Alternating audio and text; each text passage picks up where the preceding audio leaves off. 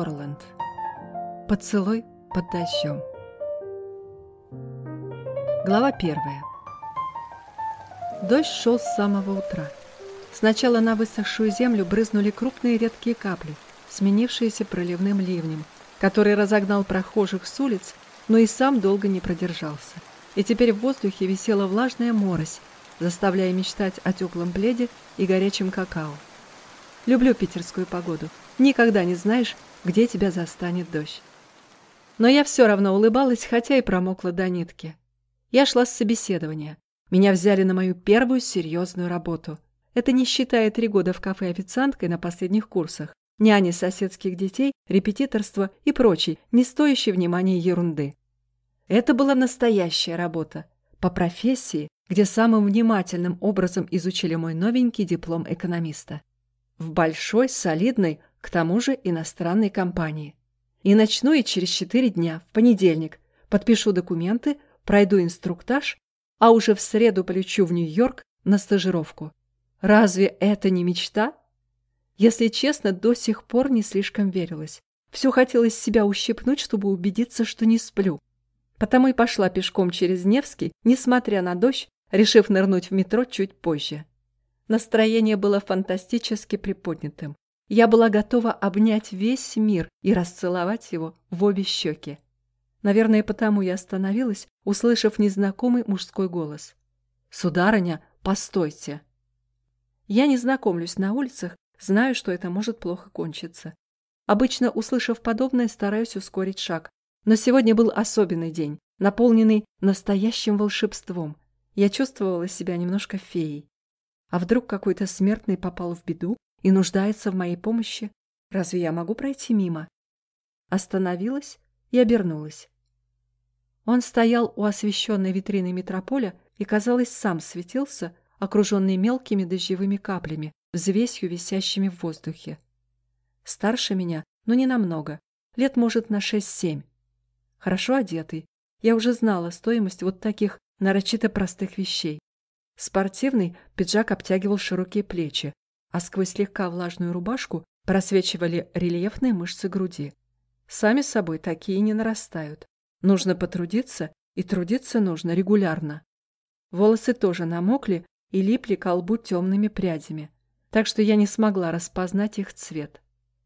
А вот глаза были серые, стальные, и мне подумалось, что их обладатель очень сильный мужчина.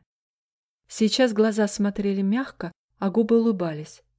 Очень притягательные губы, красиво очерченные, с маленькой, сразу незаметной родинкой в левом углу. «Сударыня, помогите, умоляю!» Он сложил ладони в нарочито театральном жесте. Собрался было упасть на колени, но, взглянув на мокрый, не особо чистый асфальт, передумал. «Чем я могу помочь вам, сударь?» Переняв правила игры, спросила серьезным голосом, хотя этот мужчина вызывал у меня улыбку. «О, это дело жизни и смерти!» Он указал на витрину кондитерской. «Мне нужно выбрать самые вкусные пирожные, а я в них совершенно не разбираюсь». Все это было произнесено таким трагическим тоном, что я не выдержала и, запрокинув голову, рассмеялась. «У вас хорошее настроение». Это было скорее утверждение, чем вопрос, но смотрел на меня незнакомец так, как будто мир за моей спиной исчез, размытый дождем. «Так вы мне поможете?» Я задумалась всего на пару мгновений. Мужчина мне понравился. Вот так сразу и без сомнений. Да и что может произойти в ярко освещенном зале метрополя? К тому же дождь снова припустил, заставив сжать голову в плечи, и это стало последней каплей, упавшей на весы моих сомнений. Я кивнула и первой помчалась к двери. Незнакомец догнал меня в два широких шага, потянул за створку, распахивая ее передо мной. Продолжая играть, присела в коротком реверансе и произнесла, кокетливо опуская ресницы. «Благодарю». Незнакомец же наклонил голову, принимая мою благодарность, и указал на свободный столик у окна. Отодвинув стул, помог мне сесть, быстро бросил одну минуту и умчался к витринам с пирожными. Голос продавца я не слышала, а вот мой незнакомец ответил ему довольно громко. «Нам всего по два и две большие кружки горячего шоколада, и молока туда побольше». Как будто прочел мои мысли. «Вы что, умеете читать мысли?» Так и спросила, когда незнакомец занял место напротив меня. «Вы о чем?» Он смотрел мне в глаза с легкой хитринкой во взгляде и улыбался. «О горячем шоколаде», — пояснила я. Только что шла и думала, как хорошо было бы сейчас укутаться в плед и выпить чашку какао. «Любезный!» — прокричал незнакомец продавцу. «У вас есть пледы?» Через минуту я куталась в клетчатое шерстяное тепло и чувствовала, что попала в сказку. «Вы, наверное, волшебник?» Мой внутренний радар, оценивающий людей по шкале от одного до десяти, начинал сбоить, перелетая за десятку. «Позвольте представиться. Волшебник Егор».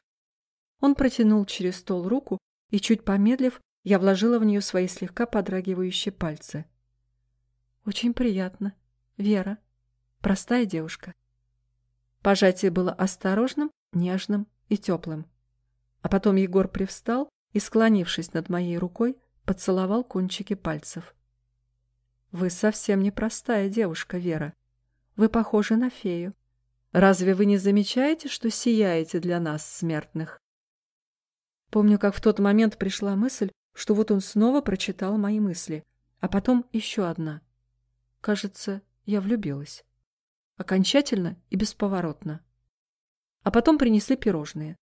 Нашего столика не хватило, пришлось придвинуть соседний и еще занять широкий подоконник. «Зачем столько?» — смеялась я над пирожными и над ошарашенным видом Егора. Я и сам не ожидал. Он смущенно улыбался. Мы пили какао, ели произведения кондитерского искусства, пытаясь сначала угадать, какая начинка заключена в воздушное, бисквитное или песочное великолепие. И разговаривали. Егор приехал из Москвы. У нас в Питере открылся филиал компании, в которой он работал. Ему пришлось много потрудиться, зато сегодня законный выходной, который он может провести с кем захочет. Если, конечно, одна очаровательная фея согласится скрасить его одиночество. Фея согласилась. Она вообще была околдована и вряд ли сумела бы в чем-то ему отказать. «Почему ты светишься?» — вдруг спросил Егор, переходя на «ты» и странно глядя на меня. Меня взяли на работу. Призналась, смущаясь под его пристальным взглядом. Отвела глаза, рассматривая пирожные. Рассказывать о компании и стажировке в Нью-Йорке почему-то казалось более безопасным, чем встретиться с ним взглядом. В кондитерской было тепло и уютно, особенно вместе с Егором. Не хотелось никуда уходить. Но дождь прекратился, выглянуло солнце, и мой уже знакомый незнакомец горел жаждой действия. Мы отправились гулять. Пирожные нам упаковали с собой. Восемь коробок. Мы, смеясь, раздавали их на улице. На нас странно косились, но нам было все равно. Мною овладело какое-то бесшабашное настроение. Всю меня наполняло счастье, и его было так много, что хватило бы на всех хмурых питерских прохожих. Это был самый сумасшедший и потрясающий день в моей жизни. Вот только он слишком быстро сменился вечером. К тому времени я уже знала, что утром у Егора самолет. Он улетит обратно в Москву. И эта необходимость расставания причиняла почти физическую боль. Хотелось схватить его и не отпускать. Никогда-никогда. О чем ты думаешь? Егор внезапно остановился, обхватил мои плечи. Ты же умеешь читать мысли? Голос почему-то осип, изнутри поднялась дрожь, охватывая меня всю до кончиков пальцев. Глаза Егора, потемневшие, как низкое свинцовое небо у нас над головами, медленно приближались. Я не могла даже моргнуть, глядела в них, понимая, что он и правда читает мои мысли. Губы сами приоткрылись ему навстречу, ощущая первое робкое касание. Снова пошел дождь, но мы его не замечали. Мы продолжали целоваться, не в силах оторваться друг от друга, словно только что умирали от жажды и вдруг нашли источник. Разве можно напиться за одну секунду, за минуту, за час? Ответ пришел внезапно. Я не раздумывала, хорошо это или плохо. Просто знала, что так будет правильно.